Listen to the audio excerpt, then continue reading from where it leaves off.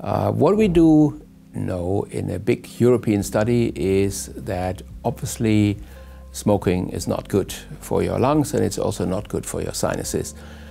But that is an explanation for chronic rhinosinusitis without nasal polyps rather than for with nasal polyps. What we see in nasal polyps is obviously that the so-called microbiome plays a role, uh, specifically Staphylococcus aureus colonization and intramucosal growth of Staphylococcus is associated with especially the severe form of nasal polyps. Uh, you may uh, have, of course, some anatomical variations within your nose and paranasal sinuses, which may uh, show a tendency to mucus retention, to uh, uh, deviate the, uh, the airflow in the nose, and then promote mucus formation, which then leads to edema.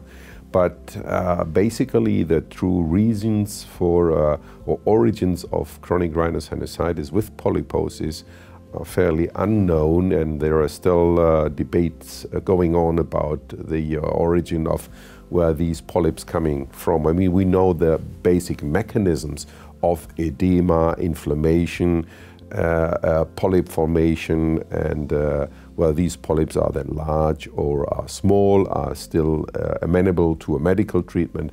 But the uh, basic origin where all this uh, disease, which usually does affect the upper airway tract, comes from is still uh, unclear. But there are good clinical and basic studies going on to assess that, and we hope that uh, by the end of this decade we have more information. It appears to be a combination of factors.